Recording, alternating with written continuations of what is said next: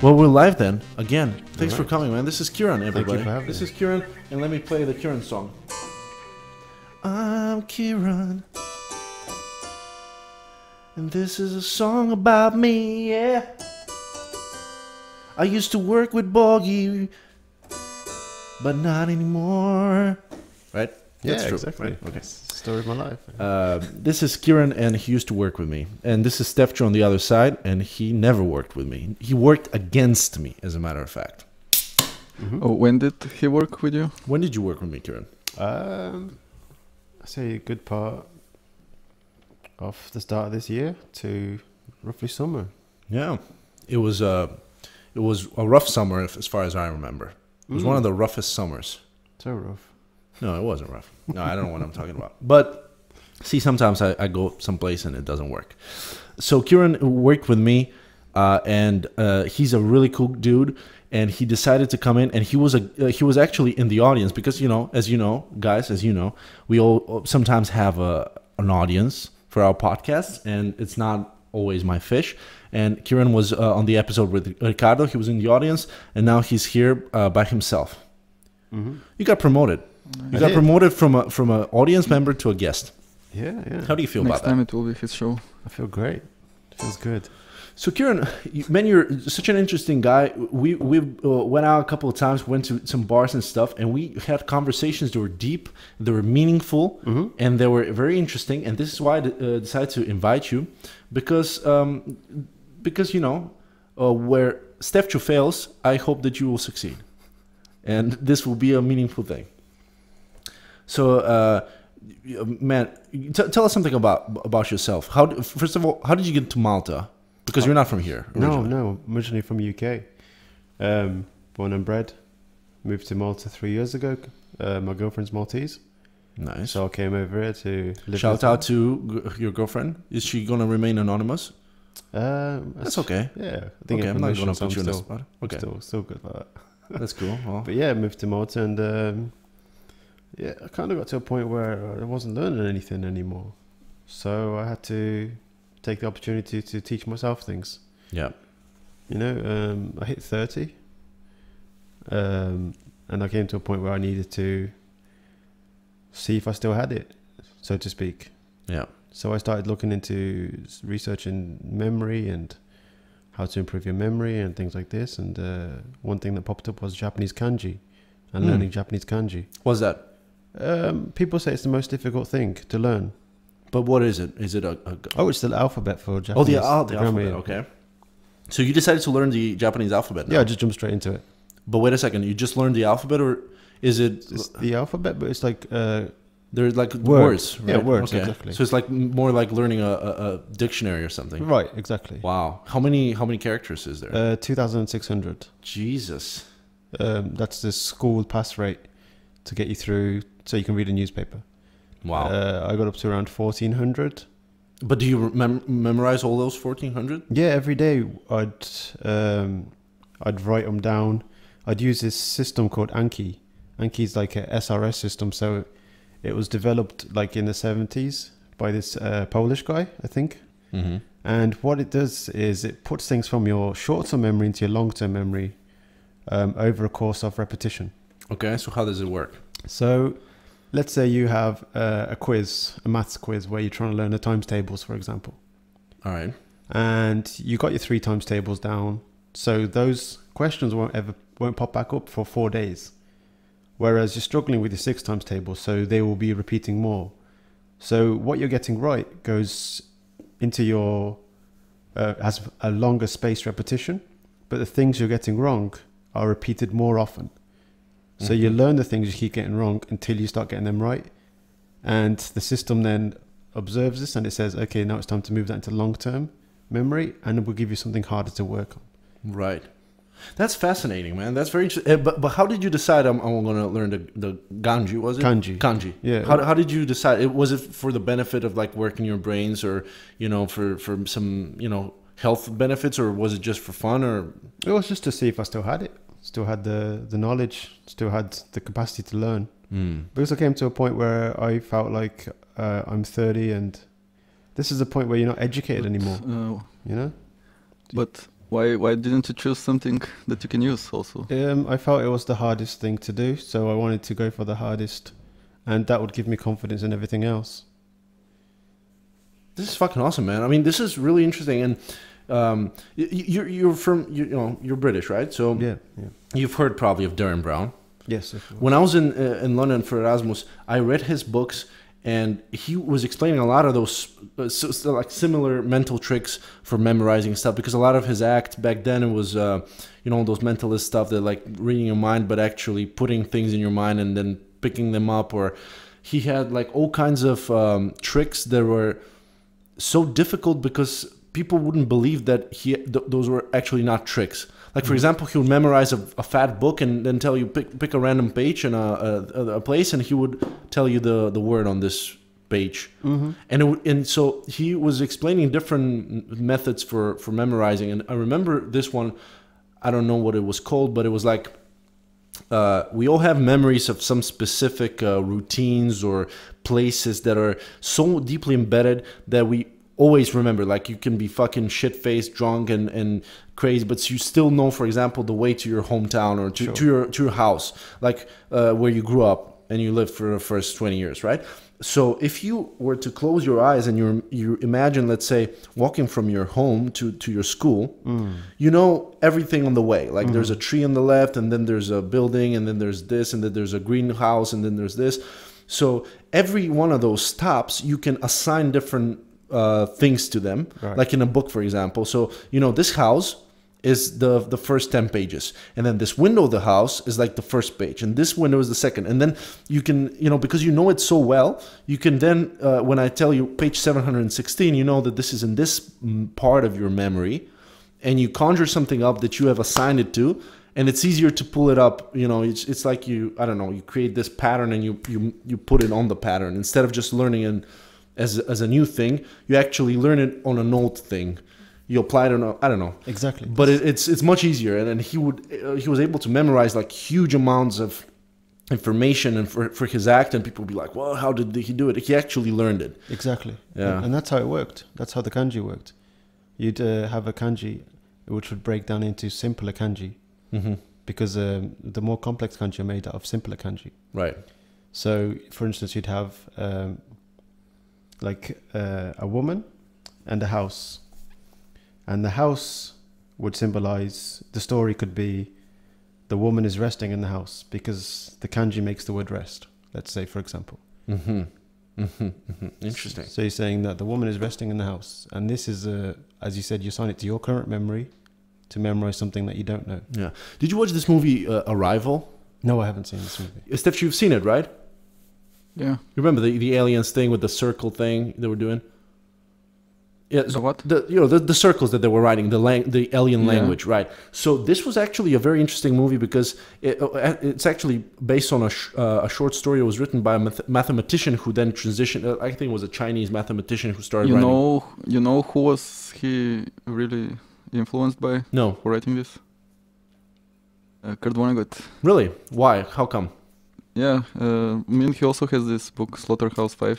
oh yeah i, I read that yeah It's kind of the same idea that time is not linear. Yeah, but also it's another That's- idea. What, uh, yeah, this is true, but I wanted to bring it up back to the kanji uh, topic because um, there was a couple of ideas in this movie, and one of them was an extrapolation of the idea that you uh, get to know a certain civilization by their language because the uh, the language contains like cultural information. It's a very interesting idea because what happened was uh, this movie. Okay, without spoiling it too much, it's about these aliens that come to Earth and they communicate in a way that no one understands them. So scientists send over like a linguist and some like army people, whatever, to try to communicate with them. So the linguist, played by Amy Adams, I think, yeah, uh, she starts learning this language and as she learns the language she also uh, starts uh, kind of assuming some of the qualities of the aliens they specifically they were able to travel in time in a non-linear way like the, for them the time was like a like you could go back and forth in, in, in within Yeah, your you, like you life. just spoiled it. yeah no, no yeah, wait, I mean, wait, it. wait a second I no. already spoiled No, it. it's so, yeah. it's a you know, but but wait a second. If, if you learn about the time, you can then move back and, and unspoil it. Anyway, so my point is,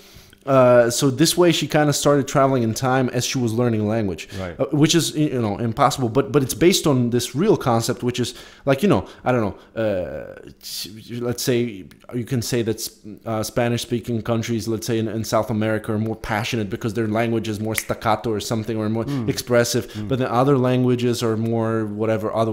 So what have you? Uh, picked up something about Japan or Japanese culture from studying their language? Sure, sure. Um, often when I see English subtitles now, I can see that they're direct translations of the exact kanji word. Right. Like the translation may use the word yonda for something that's in the distance, Mm-hmm. because yonda directly has a kanji. Mm-hmm. So you can see that why this subtitle exists in this form. So Jimi Hendrix, when he was singing about Yonder, he was actually Yeah, uh, he was uh, using his Japanese spirits. He was possessed by them, and um, yeah, there was a song about there was something about Yonder. I don't know. Anyway, so yeah, that's that's interesting. So you know when translators suck. I don't know. Yeah, do you do you pick up like wrong translations in movies that that I mean, piss that- you I off mean- now Um, from like Japanese stuff that they they didn't do right? Well, well, you notice that it's not I mean that in context. that sounds like something not right. If if you know that, I mean, what was the Japanese word? I don't know The kanji. Yeah. if I if I understood correctly. No, uh, anyway, whatever. But the, the the second interesting thing I learned from this was um, I was using a system called AJATT, which means all Japanese all the time. And the idea of language acquisition is that you listen to something constantly, and there's four stages or three stages. First, it's just gibberish. Then your brain starts to find patterns in the language, and you'll pick up words like uh, "chotomate" or something like, which means "wait up," or words that you commonly hear, like in English would be "hello," I, I hear? Jokomate all the time, "good man. morning." You know, I go to the store and I'll go, "Uh, uh, Jokomate. I go, what the fuck, man? And now I know it's Japanese. no, But things like you'd you'd pick up these little words, Yeah, and same in English. Like you'd even a foreigner would know things like please, thank you, yeah. and it's quite common you know it in other languages such as Spanish.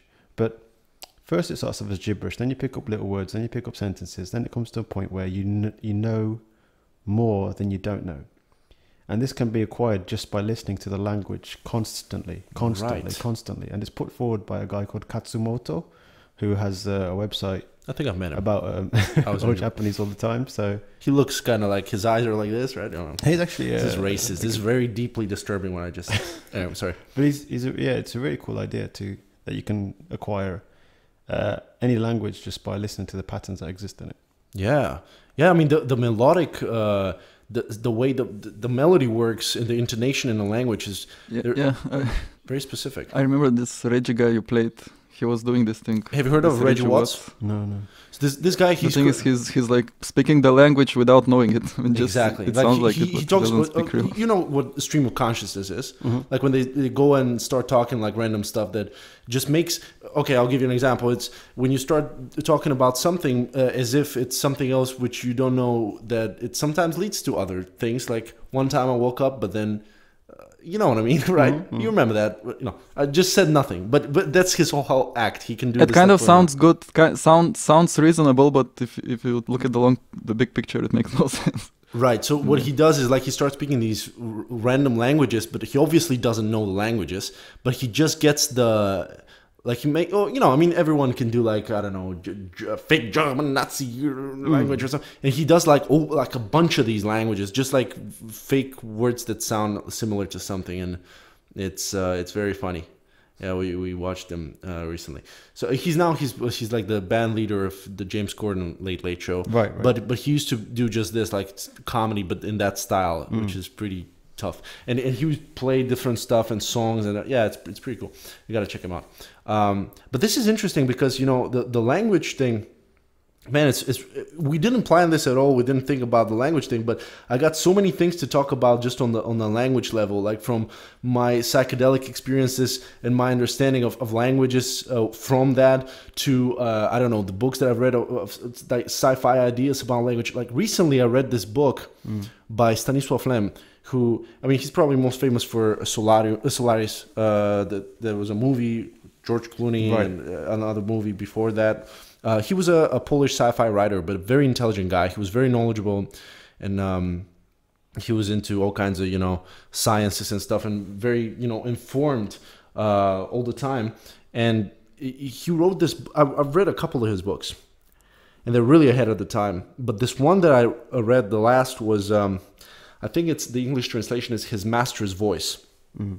and so this was a, a, a, story which was a you know a, a, the story was that scientists pick up the signal from space from obviously from some civilization that's beamed out at earth. And finally oh yes we have proof of alien life but let's crack the signal because we don't know what kind of information it contains and this is during the Cold War. So the Americans pick it up. So they go, we got to assemble a team and crack it up first because if it contains some information that's going to put us ahead of the enemy, mm. it- I mean, the Russians can pick it up first and they can attack us and whatever. So there's this competition who's going to crack the code first. So who's going to read the message from the stars, right? And they get, and the, the most fascinating thing, and this is one of the most complicated books I've read because it's very, very scientific and I don't even get most of the stuff. But the, the idea is they they make or they send a team of different scientists, and every scientist crack uh, i mean starts to analyze the code from their perspective. So they send a biologist and he starts comparing it to a dna and goes oh wow this looks like dna this looks like you know it contains some information. Uh, they beam it at, at some fucking uh, simulated uh, pool of primordial soup or something like the oceans uh, on earth before there was life. And then some some uh, microorganisms appear there so they figure out wow this can actually create life. Maybe this is how life was created on earth. Then uh, they send it to mathematicians. They crack it from a mathematical point of view. Then you know physicists look for other stuff and they figure out other and every one of them finds something in this code that's useful. Like it was it was like depending on your perspective you read it differently. So imagine there was one language that you read and and depending on like imagine there was a language that a japanese person reads and understands one thing and an english person reads and understands another thing. So that's what happens in this book. And all of these teams learn different things and at the end it's like very disappointing because they don't learn anything at the end. And the, the message is like it's too complicated. And and they figure out that maybe one day uh, or maybe there's some obstruction like maybe their culture is such that because they look for military advantage or to weaponize the message they can never crack it because the message contains some sort of protection against that.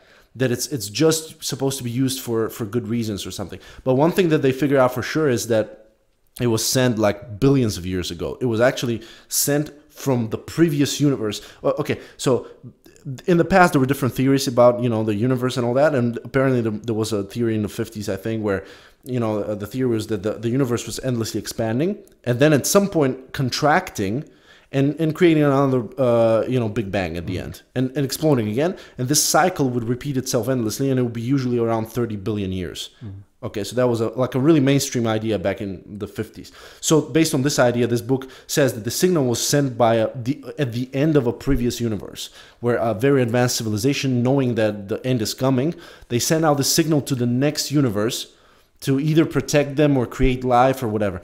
So yeah it's a crazy book but it's very interesting. And and and there was another one i mean there, he has a lot of stuff uh, related to language because he was really prolific with his language. And it was very I, I feel really sorry for whoever is translating his works from polish and i'm very privileged that i can read them in the original language because he he was making a lot of words up. As he was writing he was making all these neologisms and and all these new words and uh, the Polish language is very uh, it's easy to make these new concoctions and, and these fucking weird words but it's difficult to translate to other languages and he used the, the linguistic side of things a lot in his novels in a, in a sci-fi way which was super cool The story, the with the the cracking of the code, it's it's quite philosophical if you think about it, because they're saying that their their disciplines individually cannot crack the code. Yep.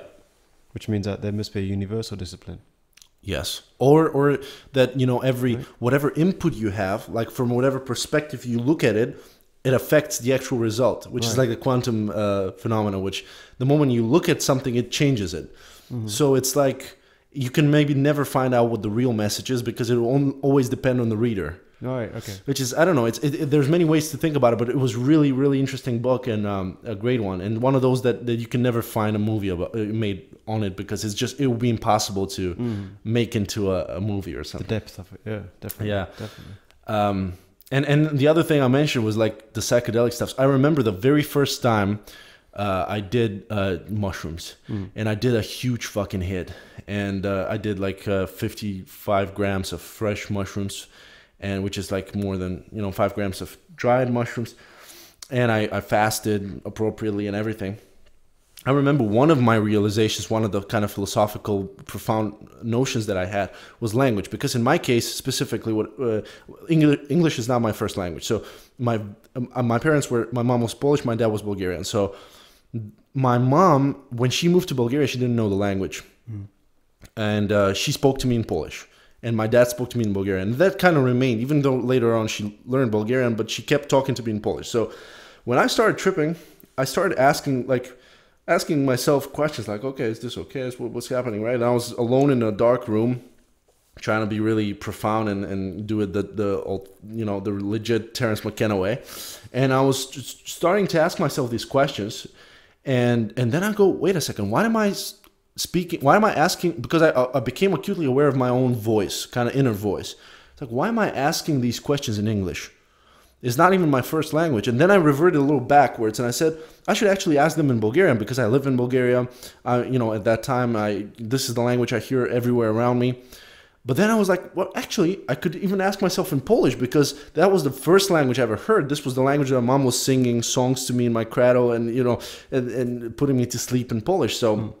And then I kind of looked even further back and I was like, wait a second, why need language at all? When I was a, a baby, I could cry and my mom would feed me and she would understand me and I would smile and I would be happy. So, you, you know, the most important things in life I could communicate without any language. And then I had this fucking epiphany, which was like language is, it's sometimes, it's a complication of a, a, a communication. It's, it's a too complicated method to communicate like you know it's it's imagine a life is like a tree and the core communication is like at the at the core of the tree and then the languages kind of branch out and sometimes they branch out too far.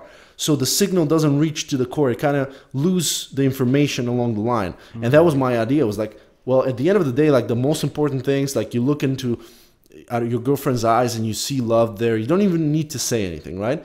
So that was one of the profound kind of first ideas when i had this trip was about language and kind of how it's sometimes very irrelevant. And and sometimes it's, it's this fake uh, artificial construct that we created and it separates us. And another way to separate us we had this conversation before. You have different languages okay so you don't understand me. You know the whole babylon myth right? Yeah, yeah, yeah. Of miscommunication because of these languages. But at the core, we're all human, so we can communicate even with, with no language. You see a baby, doesn't matter if it's black or white or whatever, you can understand this baby and, and its needs, right? And How are we going to do this podcast? How are we doing the podcast without language? Yeah, right. Let's do it without language. Let's just, let's just do music. No, but this uh, with with the many languages, that's irrelevant. It will become one maybe s- very soon. So whatever. I'm sorry, there's someone on the, on the on the other line. Let me pick it up real fast. And it's a commercial. We haven't had those in a while. And this is a commercial for language. Language, an abstract, useless concept that's just there to fuck with us. Fucking languages, man, so stupid. Kanji, what are you doing? Wasting your time. Go back to meditating and looking people in the eyes. Maintain that real relationship, and it will really pay off. And one day, you'll be dead, so it doesn't matter. All right, so uh, back to this conversation, man. How do we how do we get ourselves out of this hole that we dug ourselves into? This language hole. Steph, you help us out. I like language. What what do you mean? I don't think it's bad. I'm trying to say, Well, well, let's well, get I mean, the fuck it out of doesn't this. it doesn't stop you from looking into your girlfriend's eyes and seeing Let, love there. let me show you How does something. it stop you from this? I bought this recently. It's just This a is- bonus. Steph, you're not seeing this, but this is Plato. This is the complete works of Plato. It's a book, and it's a pretty goddamn fat book. And I decided, you know why? Because I decided that I'm from now on I'm gonna study philosophy, like legit study, like start from Plato and go all the way to contemporary philosophers and spend the next whatever 20 years reading all these books. Because I, you know, I thought about it. I had this idea. Listen, I'm probably gonna die soon. I'm not gonna read even 5% of all the cool books that are out there. So why not organize my remaining time with these books so that I don't just read compulsively, oh, I like this, maybe this, maybe no. I just read in a very organized way. And I and I and I made this list of books and this is the first one and hopefully I'll get to the end of it. Oh, sorry. No, I wanted to I wanted to clap, but it fucking jinxed it. Yeah, all right. So, but we were actually going to talk about another book. Steph, do you remember? Oh, yeah. Of course, I remember. Do you have it in your place? Because I, I left mine home. Still, Do you have it around? uh, no, it's at work. God damn No, it! What are you work. What are you doing God reading books at work? But what's the point? Fucking What's the work. point in having it? Well, the what point was is, we wanted to talk about it, and this book is the Twelve Rules of Yeah. Life, the Jordan Peterson book, because Kieran is also a fan, and he, you got the book right? Did What's you the s- book? I got the book. yeah. Twelve Rules of Life What's the book name? No, it's 12 Rules for Life. for life. God damn it! And you know how Jordan cares about every single letter. We really upset the guy, Oh, you have to be articulate. right? Articulate. Did you start reading it, no. Kieran? Or? Um, I read through the, the like the introduction. nice. Then I went back onto what I already had started, which was You got uh, back to the Japanese stuff. No, it was the Dead Sea Scrolls. I was reading about. The What Dead the Sea Scrolls? Yeah, yeah. You were reading the Sea Scrolls. Well, there's a book published by the. Oh, I thought you were reading that- actual Sea The Scrolls. scholar published the book th- that actually investigated them. I was reading them. Wait a second. Was this something related to the Bible, the Dead Sea Scrolls, or Yeah, the origin of. Uh, what was that? What, what are these scrolls? What is this? So the scrolls were found in like uh, I think it was the the Dead Sea, uh, in a cave by a shepherd, uh, like in the 1940s, and the uh, Catholic, whoever's the heads of the Catholic scholars or whatever, they assigned like eight people to work. The on scholar this. pope. Yeah, the scholar pope. The scholar pope. That's the proper word for it. Let me articulate. Yeah. the scholar pope put these eight guys in charge of uh, translating the documents, and um, it took like fifty years for the for the seven of seven people to come out with the translations after being forced into it. Jesus. Uh, and imagine if they demand. weren't forced. But the the one guy who was a Gnostic, uh, John Marco Allegro, the guy who wrote the book, he published his findings um, strictly as a scholar before religion. Wasn't this the fucking mushroom guy? The, the This- Jesus is a mushroom guy. That was uh, Terence McKenna guy. No, no, no. There Oh, was no, another yeah, guy. this is wrote- John Marco Allegro. Yeah, this Right. is This is the same guy, right? Yeah, yeah. He wrote the Sacred Mushroom. Fuck. I gotta read this book, man. I want to read this book. Yeah, yeah. He wrote the Sacred Mushroom book. God. So is it related to the scrolls or is it something else? Is it Yes, from the scrolls that he learned yes, about yes, this? Yes, yes. Okay, so what, what is what is the uh, most kind of mind blowing thing about the scrolls? What is it that uh, you know it's contradicting to the Bible or whatever? Or no? Well, uh, well, the idea is that the the the, well, the thing I found most shocking was the Holy Communion, where you take the the cracker yeah, when you're like yeah. six years old. The cracker. That's Whatever the proper way. That the Pope is like, listen, man. It was actually Get the cracker. It was actually should have been a, a mushroom Yeah. And trust me, it would be a much better communion. that the that the, it should have been ingested, and also the the Ten Commandments were written. If you imagine if you imagine yourself on a, a spaceship with someone else, and eventually, even if they're your best friend, over time you're going to get sick of this person. Hmm. Now, if you think of the Ten Commandments in those terms in a small community, that's why they were written. That's why they were wrote like that. You know, love thy neighbor. Because in, in a small community that's underground, these things are important. Right. And so we found that th- these these actually translate back to this group called the Essenes, Mm-hmm. who were around 300 BC, and they were just basically a bunch of guys who took these mushrooms, spoke to this intelligent entity inside the mushroom or the experience that they were having, and they came up with this belief that this second coming again Messiah would come back, and that was This was before Christ. 300 yeah, before Christ. 300 BC. This So is- and how does it tie to then the to the Bible and everything, or, or is it it's disconnected? this this cult is what Christianity was founded on. Oh shit! Right, because there were a lot of psychedelic cults actually, especially in Right. Europe, right, and most of them around mushrooms, like the Viking cults and all these other stuff. And I think the closest thing you can relate to today is if you imagine um, the the Tibetan monks with the communists of uh, I think it's China. It's a similar situation where these free thinkers are challenged by a, a government that don't want free thinkers. I think it's a similar sort of thing, so they're forced kind of underground. Yeah. It's the same thing if you think of the way the, the Romans were with the cults that were of a different religion to themselves. They were kind Yeah. of forcing them underground, and they were carving things in caves so they could live there. And and it makes sense why the scrolls are found inside a cave. No, for sure. I mean, I, I don't uh, at all uh, question the authorities kind of persecuting uh, Christians in the past. I mean, this was the most obvious thing you want to I mean, the yeah, uh, they they wanted to to silence that, but that's very interesting because a lot of uh, people theorize about the you know origins of Christianity being influenced by psychedelics, and it makes total sense to me, someone who's done it, because you know it's it's extremely profound experiences and and a feeling of like you said of of like a sentient entity or some sort of um, intelligence that that communicates to you and gives you information from whatever place, but the other thing is i don't know if you've seen there's a lot of like uh, uh, these um, icons and, and old paintings uh, very very old christian paintings that have like jesus and a and a mushroom Yeah. and yeah because it's like i mean you know how a lot of things in christianity were borrowed or it's straight out fucking taken from uh, pagan stuff like the christmas tree or Definitely. all kinds of other stuff. So it made sense that if people already did that, and then you go and say, well, okay, now we're gonna believe in this guy called Jesus, then go, okay, sure, but at least I can draw a, a mushroom in his hand because Yeah, you know I mean, if he was pretty woke, then he must have eaten the same mushrooms that we're eating, right? mm, So um, yeah, that's cool, man, and and also that's you know I don't know. I mean, it's it's it's an interesting thing, and um, you know, reading these stuff and and and what the the Jordan book, and you're gonna. I don't want to spoil it too, but but since I spoiled the movie already and and a couple other things, uh, why not? Um, well, what I wanted to say about this book, I don't know, Steph, do you, w- w- Steph, what is your favorite part of the book, or what do you want to focus on the book, uh, Jordan's book? Because you're gonna fall asleep. I, mean, just want to bring you up to the conversation. My 'cause- favorite part is the. Don't worry. Uh, uh, my favorite part is the content.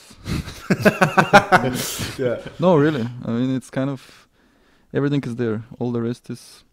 That's why I, I kind of don't like. I mean, I've the first self-help book or whatever it's called. it was Exactly. how to make friends, and I don't know what how to make friends and influence people or something.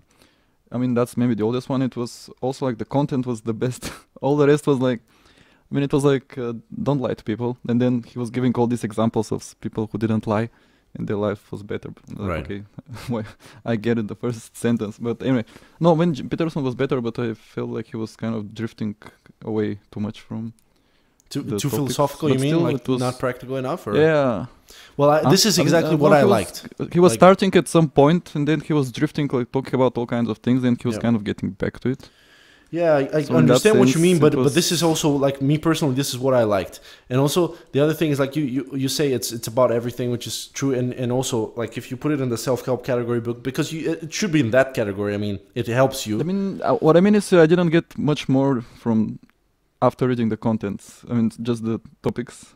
You mean yeah? I If you just okay. read the name of the uh, the Yeah, chapter, I didn't get much, much more from it. I mean, I did, but not as as, yeah. As fat as yeah, but but it is. I mean, it is actually the explanation that is important because I mean, uh, a lot of these things are cliches. I mean, you- we know you shouldn't. no, I mean, it can. It you could have been shorter. My point is, could, it could have been shorter. It, it could be as short as the contents table, right? It should. It it could be, but but the point is that in no, I this mean the because I'm reading now another book and I think it's much better structured. Like uh-huh. uh, anyway, okay. and, but yeah, it's good. It's good. I like it. I mean, I think it's great. You should follow these things he's talking about. yeah, no, I I mean, mean, of course you should. Why? Why wouldn't you? yeah, yeah. They, they But but this is the thing because you know uh, all of all of this all of this stuff like you know religions and and and and like the Bible and stuff like this they have this codified uh, information in these rules and they tell you. I mean, because the Bible is also a book of rules, essentially. Mm. So, but the way that the Bible works is they they give you these uh, parables and these stories that people can relate to because it, it was supposed to be uh, accessible for anyone, right? So, people who are illiterate, people who couldn't read or, or understand anything, they could just you tell them a story about a, a dog and, and a cat and I I don't know a, a guy working in his field and his son who doesn't like it, whatever. The people get this right from all cul- cultures all around the world. And and the Peterson thing is, is also similar. So he gives those examples because this is how it relates to people, and this is uh, the explanation. It's like this: you show you, uh, you know, I can show you a formula. I can be like E equals mc squared, right? And maybe to us it's complicated, but to a physicist it could be like, yeah, sure, I know that. But then if you don't prove, if you don't show the actual proof of this, like y equal e equals mc squared, then you're not really doing. I mean, it's it's not defeats the purpose. And I personally, Okay, but if I tell you like clean your room, Do I Yeah. ne- need to give you more explanation? It's obvious. Yeah, because it's. you Uh, I mean, this is. A, uh, and I disagree with you in this case because I love the actually explanation because those things, like you say, I've heard it many times, but I, I wanted to hear him explaining it. And to be honest, I went into this book kind of skeptical because. I'm a big fan and all that, but I realized that once he got super famous, he would obviously read a book. Uh, I mean, write a book because you know he was approached by so many companies, probably publishing companies, so it's for money, right? But the Ah, point, but I think he was writing it before he got. no, I don't. I don't think Was it? really. No, because he wrote one book like the the maps of meaning. No, I mean, but the- he wasn't the- that He wrote for like twelve uh, years, and and it was a, a tremendous uh, work of whatever uh, his life and all that. And then he wrote this book in like a couple months. And now he's gonna write another book. By the way, he's he has another one, like another twelve rules or something, for next Oh, year. what? Yeah. Really? And- And he said he's gonna start writing it next year.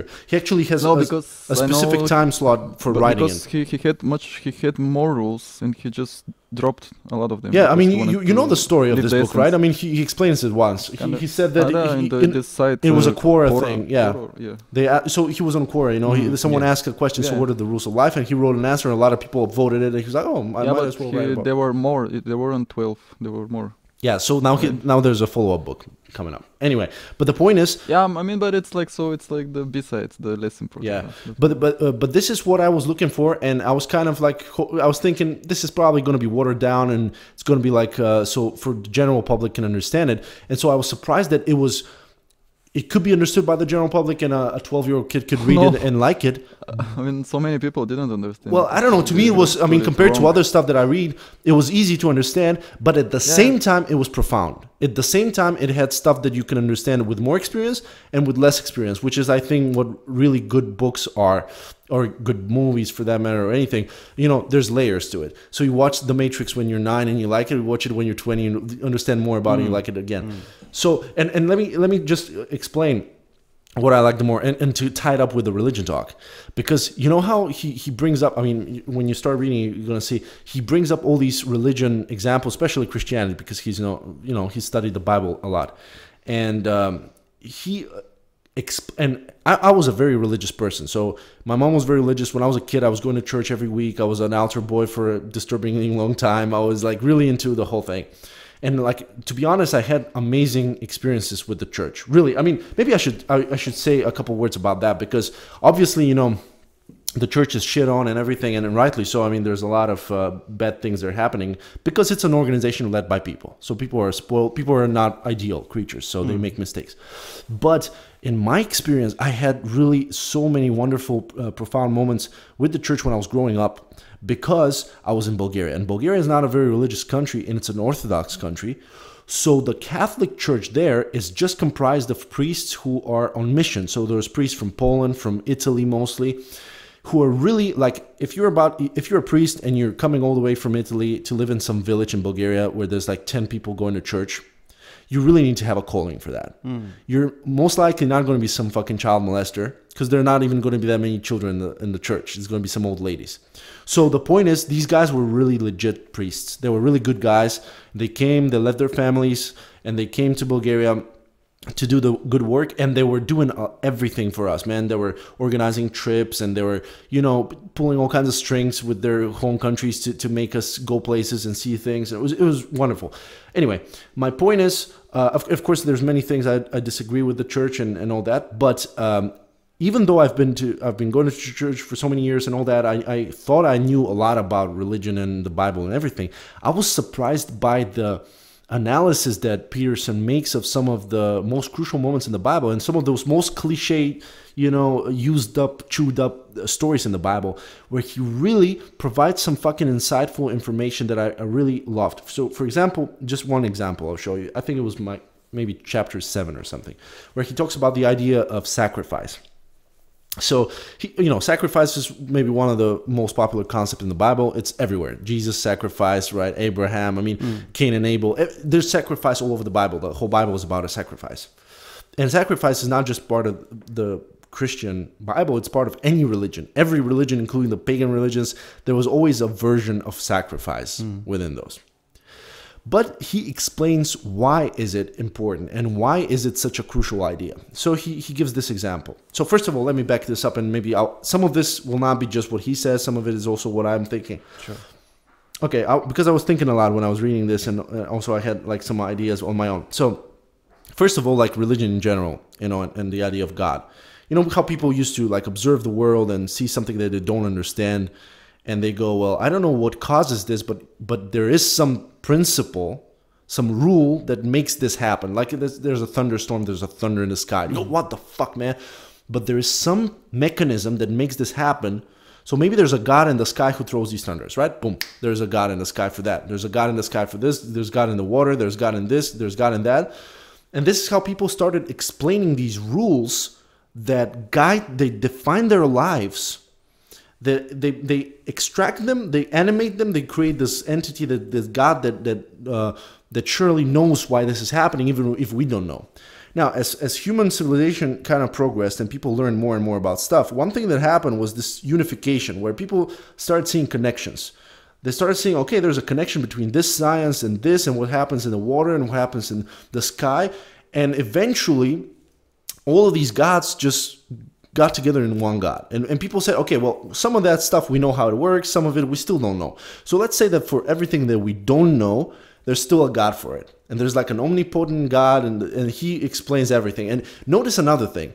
If you look back into like the prehistoric, you know, the, the uh, pre Christian religions, God seemed to be much more human like. Mm. They were like, you know, before, I mean, like the Old Testament God is a different God. But, but if you go to the Greek gods or to the Egyptian gods, they have emotions they hate people sometimes they're jealous they have feelings they fall in love they they cheat on each other it's crazy and then all of a sudden, God doesn't have feelings. It's it's almost as if, I mean, he seems to be more distracted from people. Like he's sometimes punishes people and it seems not to care about anything, and then loves them, but also like in a non-caring kind of way.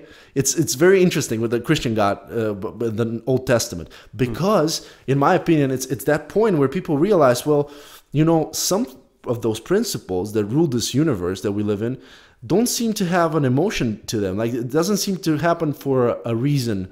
Uh, like you know, I'm angry, so I do this, or I'm happy, so I do this. No, it just happens. Mm-hmm. Like a kid is born with cancer, and we don't know why it happens. It's not because God hates us; it just happens.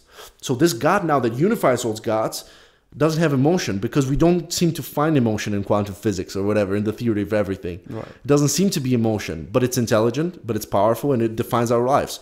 So the idea of religion is to, codif- to codify this idea of God and create these rules and these rituals that we obey and we do those rituals because we forget and we're weak and we're lazy. And unless we have a ritual that keeps us keeps reminding us of those rules that guide this world and that affect us all the time, unless we are reminded of this, then we'll forget and we're at our peril. I'll give you one example.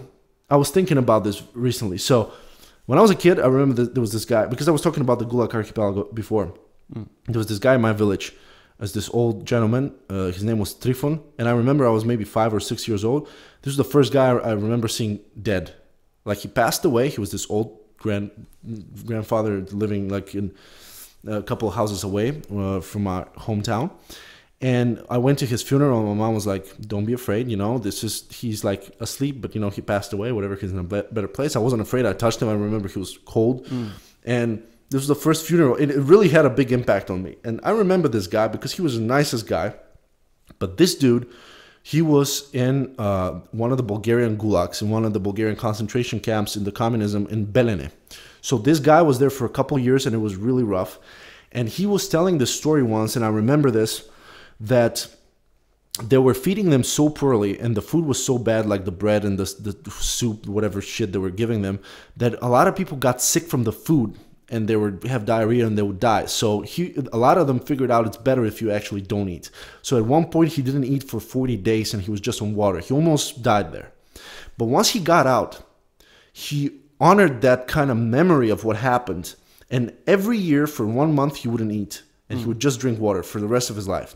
So that ritual, that small ritual that he created, is just a reminder for himself that listen, there is this fucking universe out there that has an effect on you and, and puts some fucking thing on the table and you eat it whether you like it or not. So you better respect the fact that you're insignificant and there are forces outside of your control. And this is all about religion. And the sacrifice idea, to come back to this, is one of those ideas. So Peterson explains this. He says, well, imagine if maybe thousands, hundreds of thousands of years ago, when people were still hunters and gatherers, closer to the animals than to human beings, they didn't have the concept of saving things.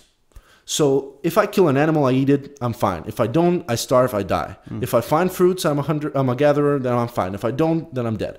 But maybe imagine at some point, for example, by accident, some hunter kills a mammoth and he eats and he eats and eats and eats and then there's some food left so the next day he wakes up he's like wow there's, there's food again and then he comes up with the brilliant idea what if i save it for later in other words what if i sacrifice my current pleasure for a future benefit mm. and this was such a huge idea that it was in the basis of our civilization it's in the basis of everything economy is based on you know on uh, you know, gathering resources, you know, everything, every progress that we have ever made is based on this. Our life is based on this. You work five days a week, so you rest two. You work for a couple months, so you save up for vacation. Everything mm. is like you postpone some of your current pleasure for a future benefit. Otherwise, we're lost. So religion knew that and i mean you know people knew that lesson was important so they had to put it in the religion and make a, a ritual out of it. So in the bible for example the first example is cain and abel. Mm. in the very second story of the bible cain and abel give a sacrifice to god.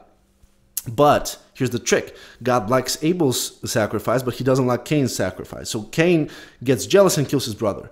And there's another lesson in there. So the lesson is sometimes life is unfair. Sometimes you work for years and years and years and make the sacrifices, but still doesn't pay off. So mm. you're not successful, you're not happy with your life or whatever. So, what is the result? Should you je- get jealous and kill someone? No, you should accept that and then you should adjust according and you should have some sort of flexibility with that. And the answer to this, Jordan Peterson says, comes a little later in the story of Abraham and, and his son, was it Isaac, I think? Uh, anyway, so Abraham is supposed to kill his son, right? One of the most bizarre stories in the Bible. God makes him kill his own son. Mm. But at the end, he says, "Oh no, I'm just kidding. It's okay. You just go home.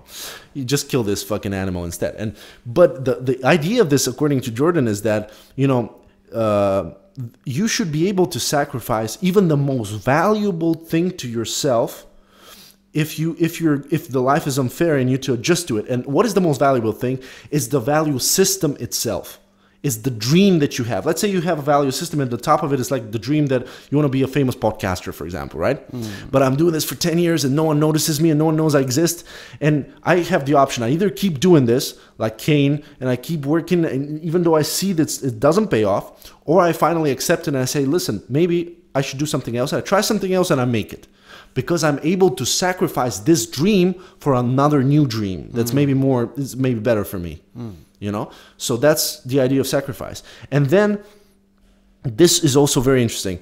This idea of sacrifice, like I mentioned, it's in all religions. It's not just in, in Christianity. It's in it's in pagan religions. And then when I was reading Nietzsche, he gives this really cool uh, overview of sacrifice because his whole argument is that when people say and man he was so ahead of his time when he was talking about this was more than 100 what 150 years ago when he was writing about these stuff and they're still applicable today when people say they're uh, atheists mm. They're not really atheists because from all that stuff that i told you about religion you see how religion is really uh, just an abstract idea of something that is deeply embedded in our nature. So when you say you're atheist, even the, the biggest atheists are are religious in their atheism. Like they don't believe in a religious way almost you know? So nietzsche was uh, had this idea that like if you look at the way that people sacrifice things in history of religions you can also kind of see the evolution in the first religions, in the pagan religions, they would sacrifice food, animals, even human beings, mm. external things like the hottest chick in the village or the, the, the nicest animal or the nicest fruits, because uh, that is the most important thing that, that they had at the moment. That, you know, the food or whatever, that was the most important thing for them.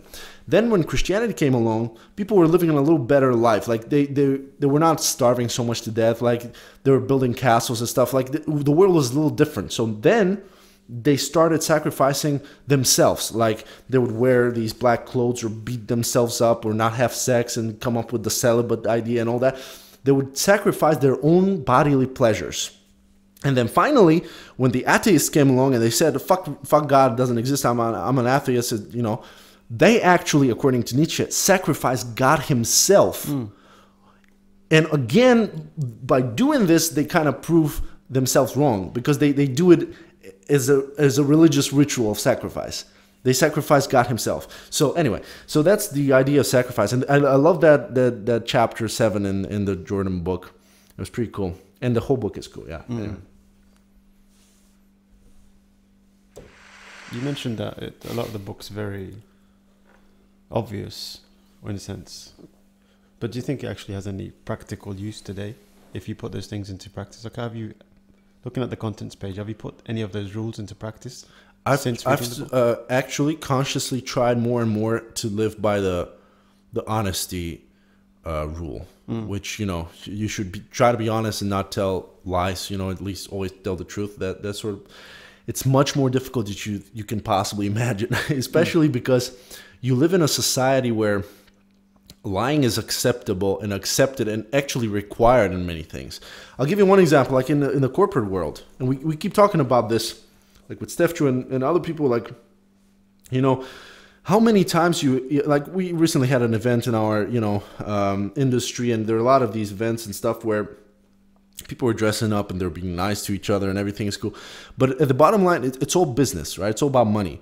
People don't really mean it, and um, I think it, it's not because of um, practical reasons or caring for the money that people do this. It's actually out of fear that they're afraid to actually come out and be completely honest and be like, listen, let's just have a business transaction and let's not pretend so because I think it would be better if people were completely honest and they'll be completely transparent. You know what the other person's needs are. There's much less frustration. There's less kind of um, guesswork and uh, you know a, a kind of a suspicion, aggressive suspicion that the other person wants to actually stab you in the back. If you knew what exactly what they wanted, it's actually better than uh, guessing that it's the worst thing. Because if you know, it's that whole principle like in horror movies. You know, the scariest thing is not when you when the like the monster takes off his mask, is when he is with the mask. Yeah. Because then you think, oh my god, what is there, right? And your imagination is taking you places. But when you reveals it, like the Phantom of the Opera, it's like, oh, well, actually, it's not that bad. I mean, it's a, you know, Right, a right. facelift away from a handsome dude. So um, that that thing, for example, I, I really don't like. But it's not not a thing that I can. I, I feel like not a thing that I can do by myself and change by myself. Because everyone else then it kind of looks like, what the fuck did you do? Why why are you honest? What, what is going on, right? Because if everyone else is lying, they're expecting you to behave the, the same way. Mm-hmm. So that's really Yeah, but- fucked up. But that's a stable ecosystem. You know, if if everyone says the truth, then one guy will appear and he will lie, and he'll be above everyone. Right. Oh, that's an interesting Mm. point. Right. Mm. Didn't think about that. It's kind of a ut- utopia, if you want. But then, if you if you think about that, like what I said, what what, what is then better? Is it better to have uh, everyone not li- like if you you know if you if you're talking about utopias, which utopia is better? Everyone lying or everyone telling the truth? I mean, both are bad, kind of. Well, Mm. not. I mean, Because if everyone, is telling the lying, truth, why is it if, better? every, if everyone is lying, it's the opposite. Then one will be telling the truth and he'll be better. I don't know. you know. Yeah, yeah, yeah. No, I understand you, man. It's kind of a s- That's an interesting point. actually. it's Actually, balance. didn't think about It's it. also the idea of what is truth. Truth is just a perception of that person. Yeah. What if you're wrong? What if you believe this is the truth, but you're wrong? Yeah, because your order of events that you saw led you to believe the wrong Ah, truth. what? Right. Yeah. I mean. well, well, wait. That doesn't. This, it's not a lie. Then oh yeah. Right. Oh, yeah. He's right. Right, It's not a lie. So you're good. That's a good point. It's got deep, man. I think it's it's time for another commercial, guys. But we heard this one already. I, sometimes, I, you know, commercials they repeat.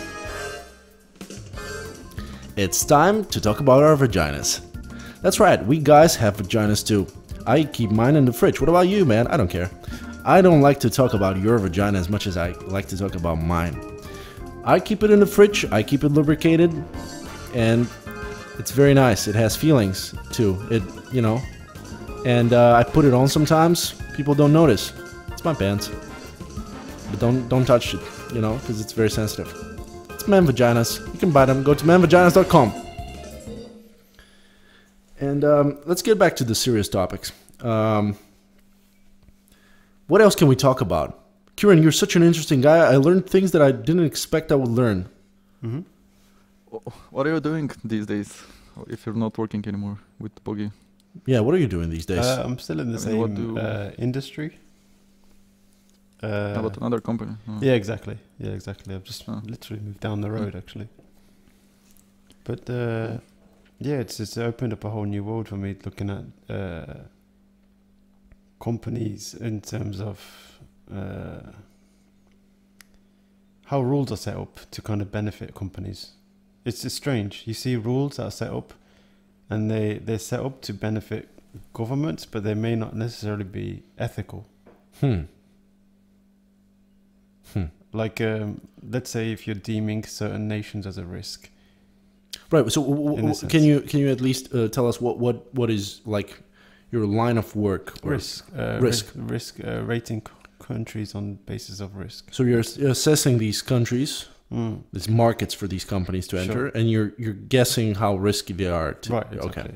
exactly and um, if you imagine certain countries are often deemed riskier but a lot of times it just seems very political Man, and this comes back to my idea, man. I shared this with Stefcho and he didn't really buy it, but maybe now this is another evidence that this is it. Remember, Stefcho, when I told you my uh, my uh, comparison between companies and and countries, and how Mm, yeah. Right. So I had this idea some time ago that you know how like companies now are more more and more powerful. Like they're you know they're the money the revenues the companies make are, is, is bigger than GDP of, of certain countries. Like I mean companies like Apple or Coca Cola or stuff, and they they have actual influence, even political power over countries. You know, Mm. and and there are some you know possible kind of uh, theories of of a future life where you know i mean there's sci-fi books about like companies uh, instead of countries where i mean think about it. Like you have big companies like google or something where not only you have like corporate culture but they employ people they they feed people they insure you, you they give you insurance they give you a, a thing to believe in value systems cultures they expect you to behave a certain way they they look for certain people. It's like a nation. You get there and it's like that's your country now so you fight with other countries and that's it.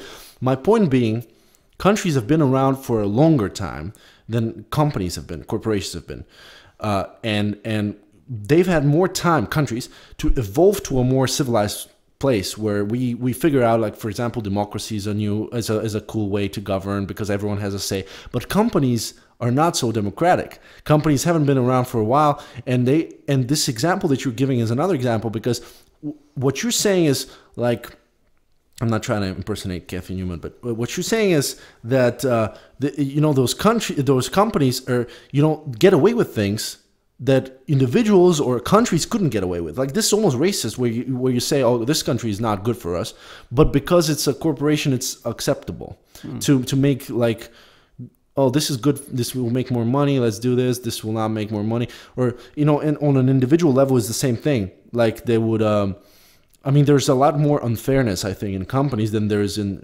i don't know in governing countries. I mean the, well, besides north korea and these examples but in, in general I'm, I'm speaking. Because in companies it's generally accepted that uh, like there's no uh, equivalent of democracy in companies. Mm. if let's say there's a team of 10 people and one person is going to be promoted to the manager of these 10 people it's not like the 10 people will sit down and vote and each one of them will decide. Mhm, it, it comes from above right? Someone says it's like you know maybe like um, i don't know an oligarchy or like an older more primitive way of governing uh, if you were to compare it to countries. Mm, mm. and i don't even know if this is necessarily for the better like if this is uh, for sure going to make more money. Who's going to say well we've tested it and we've compared it to a democratic model we make for sure we know for sure that the, the democracy wouldn't work. I don't know. We- i don't think people have tested it actually. But what do you mean it doesn't work? I mean, you mean Apple doesn't work? no no no i mean the opposite like like money? if if if apple would for example come out now and say okay from now on every let's say every manager will be uh, democratically elected from his team for example if they would actually start losing I mean, money there, like crazy There are so many companies and not one has done this. So maybe it won't work. Maybe they've tried. Maybe. Maybe, but maybe if all of them do it, Doesn't I don't know. Man, I don't know really. I, what I'm what I'm saying is I'm just making this observation that there. That's I what I mean. That it, it's not the. It's not very comparable countries to companies. A bit maybe, but maybe in the future it's going to be more relatable because it- they're going to be even bigger and stronger and like you know i mean think about it how much do you um, thing identify they- as, as, they- an, as a person of a what, what does the yeah? But what does what's what's the point of a country? What do they want? I mean, I can tell what a company wants. They want more money. but but what does the, here's the well what a country uh, is or at least was uh, it was it was a construct that uh, collect connects people for their protection it says okay these are our boundaries everyone who lives inside and is born inside has these yeah, rights what's, and what's the point? What's the purpose for protection against other countries the- well originally you know so there is no goal, but the company has a goal. well the goal would be to survive and then beat other countries and then grow right I think the goal of a country Well, not today. is to not today right but the companies it's still that so it's a more primitive primitive uh, situation They're both very similar. They're both trying to attract the the most. You know, yeah, but any hierarchy, you can people. say it's similar to any other hierarchy. Yeah, that's true as well. Mm. You know. yeah But the the voting that you mentioned, uh, that also could become a popularity contest rather than a skill set base. Yeah oh for sure it could be abused in many ways Mm. But I'm saying that if 10 people decide, maybe it's going to be less abusable than if one person decides Right, from the top, right. Makes sense. Because that one person has his own interest too. And he goes, I want to elect, I want to, well, elect or promote but a you know, person who's not going to be a no, challenge for me. But companies, no, but companies are not one person. They're usually like a board of. No, but come on, who this, like, usually it's, oh, it's a very small group of people that decides. It's like in a, in a kingdom or something, you know, like with the, the royal family makes decision that affects thousands of people, right? There's a board of directors. There's a few people, old guys, and they decide. I mean, in some cases, in other cases, it could be a private company. Yeah, it's one person decides. Yeah. Well, I don't know. I mean, it's weird. Anyway, different countries, different companies, different commercials. Do you want to live in a country where there's no companies? Of course not. Don't be stupid. It's better to live in a company where there's no countries. What? That makes no sense. But it makes sense on Mars. You see, when Elon Musk makes it to Mars, he's going to establish a new country. It's going to be called Tesla. Everyone who's going to live there is just going to make Teslas and send them to space. So, you want to be a Teslan? Come over to Mars, man. It's pretty cool. They give you a contract, you sign it, and that's it. You don't have a passport, you have a contract. It's pretty cool. But still, this democracy is weird. Why do we need it? I mean, Yeah, no, like, like- not like like any one of us is voting. what are we doing? No, but I mean, what, we're choosing people. I mean, Yeah. we're all everyone. We're all we're all people. Why, why do we have to choose different things? Like all All people, Maybe listen. we need some. Maybe we should ask Google. Like some AIs should work this out. You know. It's how hard is it? We need roads and hospitals and schools. That's it. Whatever. Sounds a little Anyway. Japanese. We all need roads and schools. But we also need to choose people by rating them. Some are cooler than others. Yeah. So we should elect just porn stars. I think we should elect porn stars or something. Like people that we No, really care about. really, We shouldn't really choose people. We choose their programs and i- ideologies or whatever. Right. Anyway, Yeah, I mean, at I least mean, we should be doing this, but I don't think everyone does that. yeah. Like, who, who is going So- googling out? I want to see. What, and also the other thing is like they all make promises and then no one is, sticks to the promises. yeah. Once you once you're in, you're like, "Oh, I'm sorry, man. I did my best, but you know, it's not up to me. And So, so I'll instead just of give the money for I people, everybody should global submit a manifesto, and we just read the manifestos and vote on the manifesto. Mm. There should be a law that will, that puts them in jail. You didn't keep your promise. You imagine if there was a system, man, for rating everyone, and like the best person in the country gets to rule the country. Then it'll be just like an Instagram chick, 18 year old chick, who's like, "Okay, listen, guys, Most I'm gonna make a gets- every every girl employed. Yeah, it's gonna be pretty cool. Like it would be a nice thing. Like if you if you make an app that that makes you rate people, like Hmm. everyone gets to rate everyone, and it'll be like trending people, and there'll be just like PewDiePie will be emperor of Earth. It's dangerous, man. It'll be like crazy. Yeah, They should make a Tinder app for for candidates. Tinder. Yeah, you you just swipe for for seven years until you elect someone. Like imagine how how much swiping goes on. I think maybe that was it. Maybe they were like they were using as Tinder. They came up with it in India to, to vote for a president. Like this is too long. Let's just vote for. Let's just like use it for sex, because it's not gonna work. My finger hurts. Like I don't know. Imagine it was like some really talented math kid was doing those. What is those called? Those thingies with the balls that you count on. Like what? What is this called? Uh, You know what I'm talking about? yeah, yeah, yeah, yeah. yeah. Abacus. Counting Abacus, machine. yeah. So they, they were From doing the past. abacus was like, oh, you know what'd be cool if there were like hot chicks instead of those beans. like swipe, swipe, swipe. I want to fuck you, baby. I, I forgot how to count, but this is better. And Yeah, then man. they put the beads on a rope, and yeah. Yeah. well, that escalated quickly. You're such a dirty mind. You have a such a dirty mind. Or did you mean it in like the Japanese uh, uh, meditation beans that you like the the thingies, the, the Zen uh, rosaries that you have Uh, on your I arm? have no idea what you're talking about. Yeah. No, Uh, uh, what's that?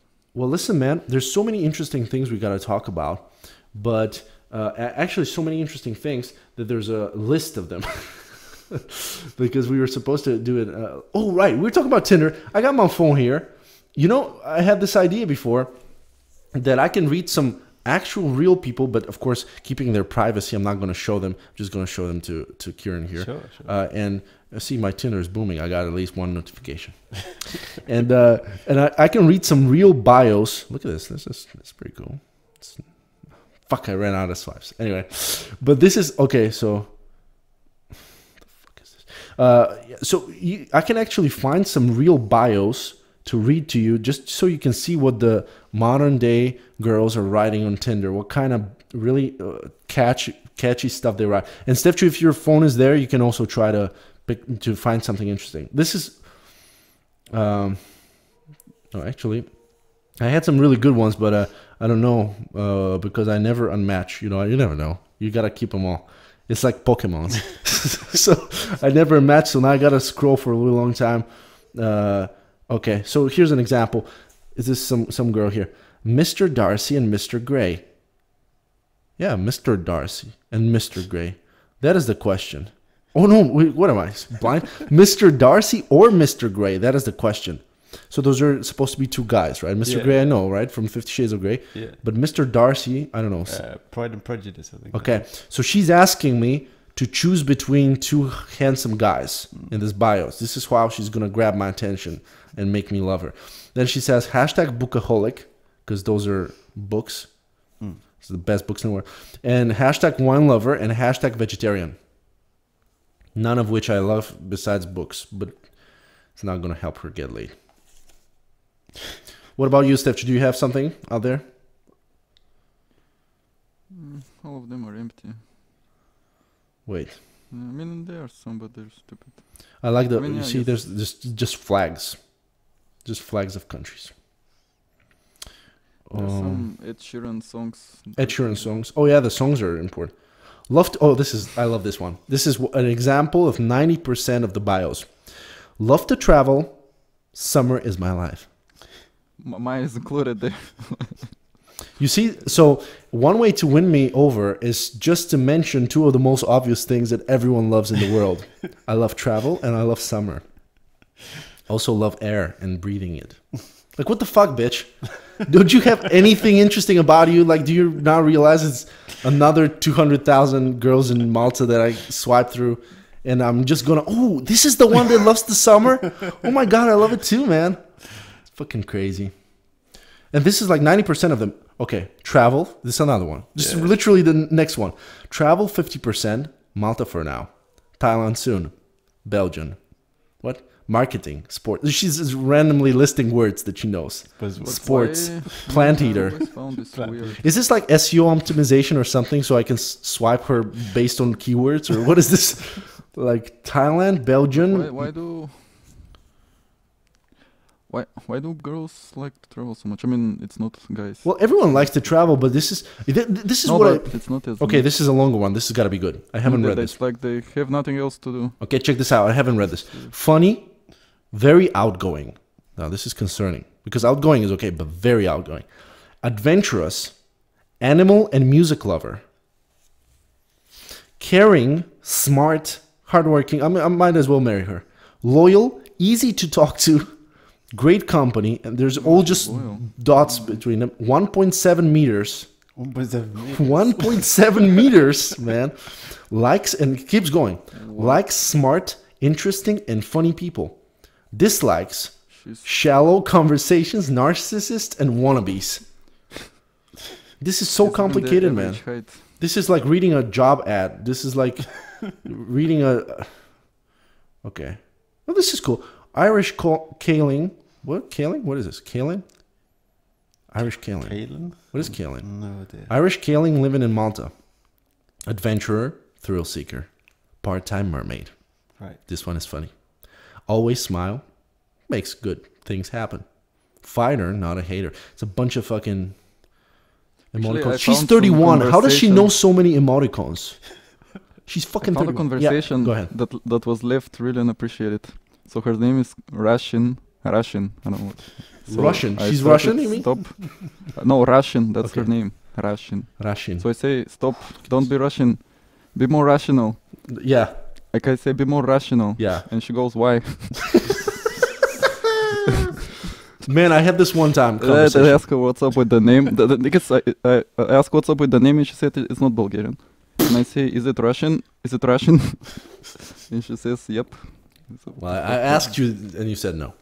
But I had this one conversation with a girl. I'm so yeah. trying hard with this, and no one cares. I know. I it was really funny, man. No, wait a second. Let me just because. Oh, sorry. You deserve this. You deserve this, man. Take it. Take it now. Uh, I had this one conversation with a girl, and her name was um, uh, Anna on on Tinder. And I'm like, hey, what's up? And uh, and then she has a t- uh, uh, an Instagram or something, and I see it's actually Analia. And listen, for someone who's ever done a single joke in his life, if I see this name Analia, I, I have to say something about it, man. I go like, you know, I, I made some joke. I don't know what I said. Like, uh, I go, oh, that, that's not a shitty name. I don't know. I don't know what I said. I don't know. I said something along those lines. And she's like, what do you mean? I'm like, what the fuck do you think I mean? I I'm talking about your name. And then she's like, she got offended. I'm like, you gotta be kidding me. She was also like 30. I'm like, am I the first person in your life to ever make a joke about your name? And you get offended? What the fuck is wrong with you? And I sued her. Anyway, but um, so this one is made in Brazil, living in Sliema, Malta, a Brazilian girl, maybe someone in this crazy and unknown world. Even so, what can I say? This is actually like a conversation with herself she's had. Human, and there's in, in quotes, quotation marks, human after all, trying to discover myself as one and another humans by themselves. Share kindness and respect. This is the key for empathy. What the fuck is What does that mean? this? Is I think she's uh, running for a vote or something. Anyway, so anyhow, this was a uh, this was a Tinder Tinder uh, bios, guys. A new segment we're working on. Maybe, maybe if you register as a girl, they just let you choose from five descriptions. Yeah. That's why it's. Yeah. No, but like really legitimately, like ninety percent of the time is just I love cooking, I love travel, I love food, I love wine. Like really, man. I mean, you might as well not write is up with this wine. But man, you, know you get fat from wine? you send me this uh, screenshot of this girl with. You remember what you sent to me? This girl that like looks for someone that she met. oh yeah. Yeah, this was one of the funniest things I saw. You, do you have it still? I mean, uh, no. I mean, I send it. I can find. So he sent it to me. This Right. girl is like a, a photo of the back of her head, and then So, the I bio mean, is It says like I'm I'm searching. Okay, it's not very literate. I'm searching guy, comma, who was in Metropolitan when I saw him on Sunday at 8 p.m. Serdica Metro Station. Dot. where where you are? Metropolitan Metro, you know, subway. Yeah. I was searching for a guy who was in the metro station this and this time. Man, it was so funny. Where you are. And the thing is, it wasn't like I'm sure she didn't intend it to be funny, hmm. but it's unintentionally fucking hilarious. Like this is, I want to use this for my life. I wanna, I wanna have a on my ID. It's like a lost card. You can put it on your tombstone. Yeah. I'm searching for guy. We have this friend, God bless his soul, uh, Ger, who, uh, he, you know Oh, yeah. how you have these Facebook bios, Mm. like a description, one He's one sentence anymore. description. Yeah, he he passed away, Yep. and uh, no, he didn't. But you know, in case people really think he passed away, he just left us spiritually, because he got this girlfriend, and he changed his bio and he wrote like her name and a heart. Ah, okay. That was so pathetic. I literally, I was like, I, should I? unfri- Like people had to just hold me not to block him. Like I was ready to unfriend him, and that like people had to physically restrain me. I You was in sound a, like you sound like you have friends. But you yeah. No man, this guy was a real friend. Like we we took a shit together at one point. This Yeah. is how close we were. Like we were at a river That's pretty cool. and we were s- squatting next to each other and taking a taking a shit. This was how when we've pissed with Steph True, but nothing like that. Like taking a shit together is a whole nother level. And we took it at the same time. Like it wasn't like you know because it gets awkward when I'm still shitting, but you're done and you're kind of like still squatting there and smelling it. You know that's awkward. But when you're done at the same time, then you're like real brothers, man. And we washed our asses, and it was really, and it was that Yeah, year. It was it's this year. You know, it wasn't like when we were six, man. It was this year. yeah, it was. It was May. But it was Uh, such a nice year. We did so many things. Oh man, it was. So, we weren't even drunk. We just did it for the fucking for the for this podcast. We did it actually. For the like, for the likes. no, there were actually people who saw it. You know, I'll, I'll try to put this into perspective. So, I'm uh, close to my hometown, and there's this river, and we go down this river, and it's like in a canyon.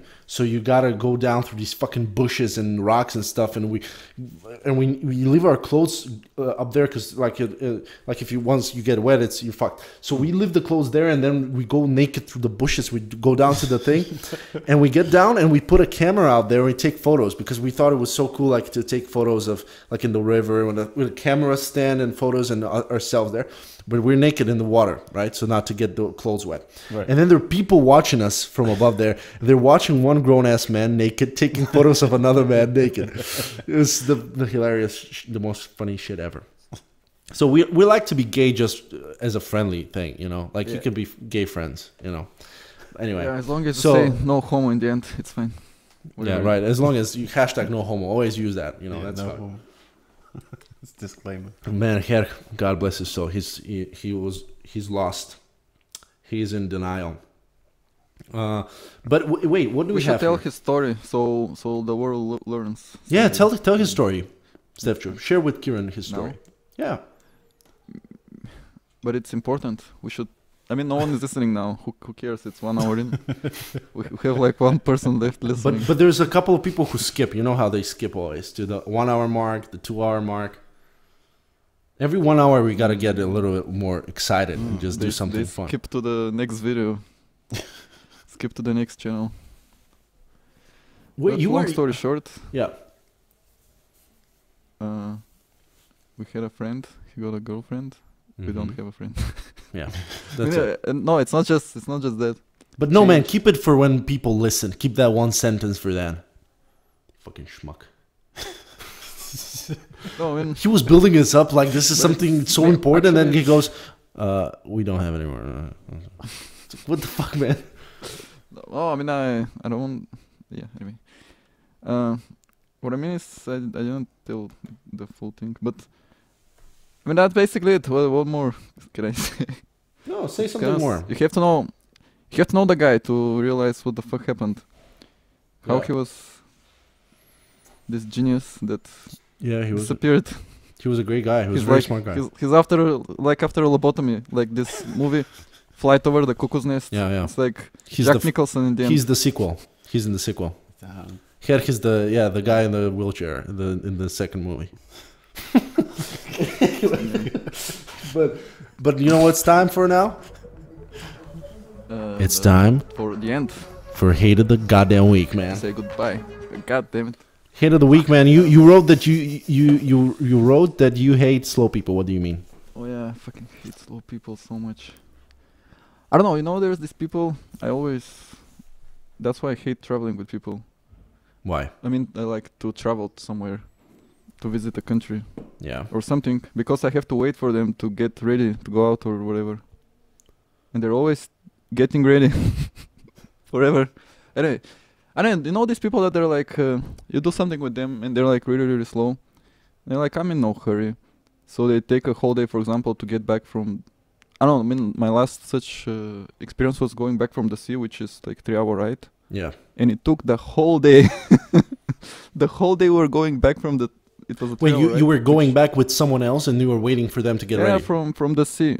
Yeah, it was first getting ready, Then uh, you know we stopped at the city to eat lunch, to walk around a bit. Fuck. it was like a three-hour lunch, like three-hour ride, three-hour getting ready. It was like the whole day, just spent doing this. But I wasn't the driver, so I Mm. didn't have nothing to say. Well, So that was Yeah. boring. But okay, but nice try. But uh, what what, do you, what about you? Do you have anything you hate, I mean, You don't have to, but Recently, I hate it. I hate this. uh, I hate wasting. beggars. Time. Beggars. beggars. Yeah. You hate beggars, really? Yeah, they, What what makes you hate hate them? it's just. I feel like The, the part where they extend their head. like- No, I think I think there's a way out for everyone, and they, I just feel like it's laziness. yeah. I think a Well, I, you know, it's a, it's a complicated thing, but I, I agree with you in the sense that um, I don't. Well, it's it's difficult. I mean, I hope I'll never be. Let's put it this way: I hope I'll never be in this situation. Uh, and I understand some people who are in this situation, but also I, I, know people who can, can- do other things and they don't, and they choose to do this instead. And it's I it's can a, totally see us getting there. yeah. But You the know, thing about me is most people, most people, they're they're kind of left by their families because they have some mental issue or something. Yeah, they have no one to care after. Yeah, I mean there are all kinds of out. like especially like if you see kids, it's different because they're forced by someone else. If you see sick people, it's also like you know they, they might have a mental issue or something that they you know they sit around and.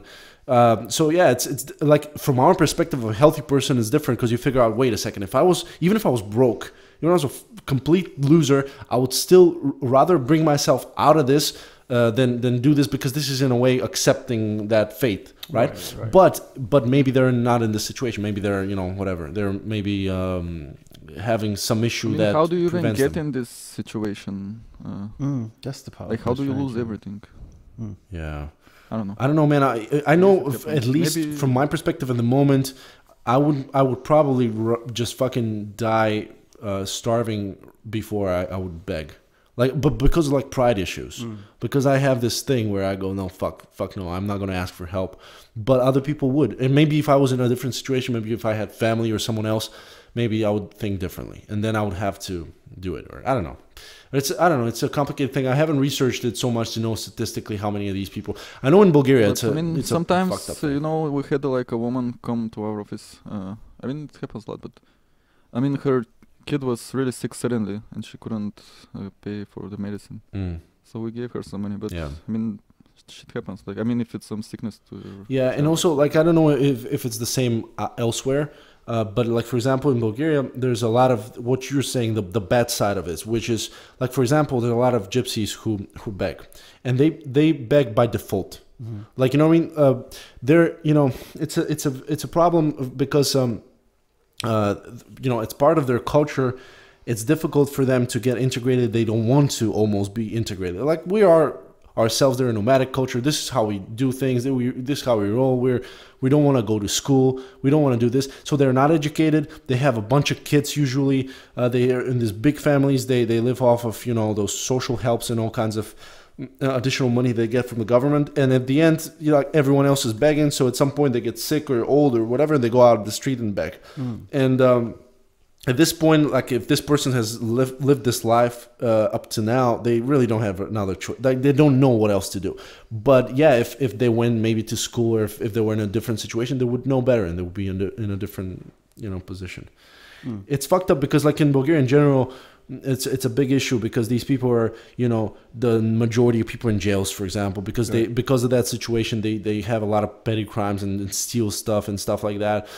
Uh, this is also like ninety percent of the uh, prostitutes or or you know like a lot of uh, issues stem from like how poor they are and, and how poorly they can integrate into the society and not because we don't try to help but because maybe i don't know this is how they were taught this is how they were brought up and this is what what they It's- it's they're okay with en- environment, yeah.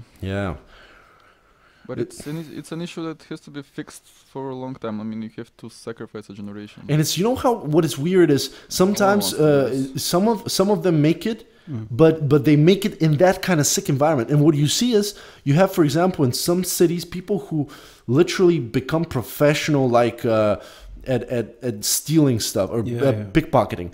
And you see, like at, at the seaside, you have these huge houses built by these guys who they have a lot of kids and they train them to pickpocket. And they literally they have a van and they pack the minivan in the morning. They send them to the big city. They leave them and they come back at the end of the day to pick them up. And they have iPhones and wallets and they go to big places where there are a lot of tourists, for example, the bus stops and all kinds of stuff like this. And these kids just spread out the whole day. They pickpocket people and then they come back and they sell this shit and they live in these big houses and stuff. And they sometimes even send them abroad. The other thing they do is they a lot of times they um, they even sell babies to countries where it's difficult to adopt kids. They would go to uh, greece for example and they would go to hospitals in greece when they're in the ninth month and give the give birth there and just leave the baby and just go and and then they would arrange it so that the parents would come up and they oh it's a baby or whatever and they would sell it for uh, I don't know two thousand euro or something they'll sell a baby can you fucking What? imagine yeah they sell babies in No. Greece yeah What? How is this legal? What- it's not legal Yeah. but because it's more difficult So- imagine if you're a parent and you're really desperate you want to have a kid it's actually Okay, but yeah. you can't. I mean, how, what do they say? They gave birth to it or what? yeah yeah they they give birth in front like they they they no, know no. them. I mean, what does the new parent? How does he? Uh, that I don't know that that part I don't know, but uh, yeah, I haven't well I haven't researched it, but uh, I'll get to it because I, I was I, I was thinking of selling, not buying, so I don't know how that works. But um, when I get Yeah, to buying, that's your work. That's your. no, that's my alternative, my career alternative. I want to make some kits and sell them. If I could get pregnant, man, I wouldn't be even doing this shit. I'll be fucking having my fifth kid now. You'll be happy with working nine months for two two thousand euros. No, I would sell it for two thousand euros at once, and just oh yeah, right. I I just said the send. Fuck, I don't know what I was thinking, but um, it's the Skype connection. What else do we have here? We talk about hate of the week. We talk about um, you. You wrote something here. You said Earth Shield. What the fuck is Earth Shield? Yeah, I mean, uh, let's talk about these things next time. Okay, okay. Yeah. Because we already had en- have enough time. Wh- what about you, Kieran? Is there anything else you want to Oh, no, share with did- us? No, but you didn't say your hit of the week, did you? Did I? Oh, No, I you didn't. no. No, I was just didn't. dreaming, like uh, daydreaming about selling my were kid. just you were just too busy hating my hate. Yeah. Hate No, my hate of the week. Kieran, do you have a hate of the It's week or not? Oh, you said beggars, right? yeah. Beggars. We had the slow people, which was kind of boring. And then my hate of the week. You know what I hate? Mm. I hate those fucking fake blurry photos. Like when someone takes a photo with a cell phone, Mhm. and the cell phone's lens is not, well, doesn't have an, the You aperture. know, you know what you mean? You you want me to correct you? It's called software blur. right, Because software blur. Blur is pretty cool. Okay, thank you for this useless comment and just this domination of intelligence that you uh, displayed. But anyway, so my point is the software blur. I'm, I'm sorry uh, for offending all the software blur guys out there, but the software blur happens when people are uh, just fucking tasteless, fucking pieces of shit. And what they do is instead of buying like a proper lens to make a proper photo or admit to the world, listen, I just have an iPhone, just leave me the fuck alone. I don't have the money for the lens. I want to take a photo next to a wall so it's no there's no blur. No, they want to take a photo uh, behind the the Eiffel Tower, but then blur it so it looks like their dad's fucking dick. Like what the fuck is this? Like who came up? Because you know when you have a proper lens, when it when it when you take a photo, it blurs out really nice, and even like the every hair on the dick is blurred in a proper way. Like if you take a photo of your dick, because I've tried it many times, you know, like you your legs are blurred and everything, your toes are blurred. You don't see those, I you know, those ugly toes. actually- Sometimes you have like the ugly, you know, sick the one sick toe that you have usually. So, but when you take it with a cell phone, it's like the software just like cuts out through your dick. Sometimes part of your bowl is blurry, the other one is not blurry. Look what the fuck is doing that? Yeah. And these guys keep doing this, and they think it's the coolest thing. It's like I'm gonna blur half of my kid, and then just like a family photo, and two kids are blurred, the other one's not. Look what are you doing, man? Fucking idiot. This is what I hate. No, but th- there are some really bad ones that just make a circle in, in the center and they'll blur all the rest. Yeah. So you gotta pack up the family into the circle of trust, and if just Yeah. everything put it in a circle. Yeah. the circle of sharpness. So this is a really thing, a thing that people should stop. There's nothing wrong with not having a lens. You can be a beggar and beg for a better lens. It's okay. You can sell a kid and buy a lens, but don't make those fucking software blur stuff because it sucks, man. What else do you have? Well, yeah. What about you, Kieran? You you you came up here with some dreams, man. With some, and we destroyed them. And you're going home now. You're you're empty, and you're and you're yeah. You had some dreams, right? When you were walking in this in this room, you were all proud with your dreams. and now I see how you kind of changed for the worse. Now you're going back with nightmares. Speaking of dreams, though, I was actually thinking when you said about the babies in the hospital. Hmm. I was reading this uh, this uh, this guy's work that mentioned um, how if those rooms were darkened to a certain uh, dimness, that the kids would actually get more sleep, so they'd be healthier, and the hospitals would actually be able to cycle the kids up faster. And they would save energy. Exactly. It's, it's very interesting the the pa- the impact of sleep. Hmm. And So you're saying too much light in the hospitals actually like destroys the sleep for the kids? destroys the development. Hmm. Really? Yeah, Wow. yeah. Wow. I was watching uh, this this talk by this neuroscientist Hmm. uh, investigating different parts of the. the I always brain. knew we should go back to the caves. I was always saying, listen, go to a cave, give birth there, keep the baby in the dark until it crawls out. If it crawls out, it's a healthy baby. You know, like the giraffes, the, the giraffe gives birth and then kicks the baby on top of it. So no, not not you know, imagine the giraffe's pussy is like five meters in the air. Yeah. It's giving. It's not even crouching. No, it doesn't give a fuck. It's like giving birth from a from a fucking like from the twin towers. It's it's stretched between the twin towers, and this baby is like parachuting between, and falling down to the fucking savannah. And there's tigers and lions underneath it. And then the the the the fucking this is a real thing. The giraffe kicks the baby. yeah, but maybe it's to soften the blow. No, it's just to get it to be like you. If you survive this flow, this one, try the kick. It's like no. The idea is, I think it's it's about like getting it used to coming off uh, on on its feet all the time. So it's Right. like you know, like horses, they're supposed to start running immediately because all the herd animals, they're always surrounded by like predators in the wild at least. So you know, the the babies are the most vulnerable, so they need to start running really fast. So that that's the idea. Like when it falls with its long legs, like you know, fall to the side, and then and so the the parent kicks it again, so it gets up. The baby gets up, right? And they kid keeps kicking it, and, and you know that's how they do it. That's why giraffes are one of the best football players. I don't know if you knew that, but Uh, yeah, that's nice. and basketball players because they're tall. They're good at, at balls. But but this dark thing. Mm. Dark uh, thing. How does this make sense? I mean, the dark baby. Something about the the Does it make sense? dark I mean, what what were they what were they doing back in the it's what were they doing back in the day? Did they?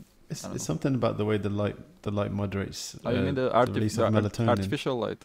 Yeah, exactly. I mean, the artificial light. Yeah, uh, it's Oh. I guess it's similar to the way blue light works when you're in your bed on your phone, Oh. about to go to bed. It kind of Uh-huh. delays the release of melatonin, which means you don't get as good sleep. Really? Oh. oh shit! Wait, Is melatonin? this why- It wasn't it the, the, the thing that makes you Is this why I feel like yeah, the shit the last ten years? Yeah, it gives it color to the skin. I think Melatonin, I Freaking think, is phones. a sleep one. the Uh, sleep one. Yeah, What am I thinking about? Mel- melanoma? No. What is the other one? What is the one that makes your uh, the color of your skin? is it serotonin? Serotonin, maybe it's serotonin. Serotonin is the Yeah, brain. no, it's Yeah, mel- serotonin. melanin. Melanin, melanin. So melanoma. What, What's what did you say? Melanin is the, the thing that colors your skin. What would you say it was? Melatonin. Melatonin. Okay, melatonin for sleep. You're right. Yeah. See, I question you to the point of you doubting the the essence of your life. I did it on purpose. I actually knew what it was melatonin. Really? Yeah, no, but I, I, you know, I just wanted to challenge you No, of course. and just like kick you like the giraffe is kicked. So yeah, so you you're always on your feet. That's the idea. That's good. You make a good football player. Listen, man, this has been really nice. Do we have something else to talk about? Stefcho, what do you think? You're ready to sleep. I, I can sense it in your But we don't. voice. I just want to play guitar, man. He wants to Uh, play guitar. Listen, man, uh, this was really fun, and I think you know you should you should come again because uh, first of all I'm lonely, and second of all we can talk about so many things, and there's a lot of more Tinder profiles to read. What, what are you doing on What are you doing on New Year? what are you doing on New Year's? New Year's? Uh, not sure yet. Hmm. Okay, you can come with us. We'll. Yeah, this fool is coming over Yeah. to Malta. Yeah. Oh, yeah. No so way. yeah, we, we we plan to go to Dingli Cliffs and set it on fire, baby. Oh, yeah, we'll make some photo sessions Yeah. We, of ourselves. for those of you who don't know, because I keep mentioning Dingli worry, the Cliffs, best. it's this place where it's, it's like literally there's nothing, and it's a cliff, and then it's a sea, and it's uh, the end of the world basically. I don't know. Am I describing it correctly? It's the Yeah, end of I, the world. the only thing I've heard is like a suicide point. It's a very popular suicide Really? point in Malta. Yeah. No wonder I keep going there. I was in the suicide forest. I was in Dingli Cliffs. But why? I mean, we probably survive. No, probably wouldn't survive. Well, it depends. Depends on the amount of melatonin you have, I guess, when you fall. anyway, this has been really nice, man. Thanks for coming. Thanks This- for having me. This is really cool. And let's stick around. Guys, if you like this, please subscribe. And also, I'll put in the description a link to our Instagram channel because we take photos also. And we never use software blur. So you can subscribe there and just, uh, you know, check it out. And we're, we're going to come back with a new episode. And who knows who's going to be here next time? Maybe you, maybe no. Probably no. Probably you'll never be here again. I, I doubt you, I'll ever see you again, to be honest. It's possible. Goodbye forever.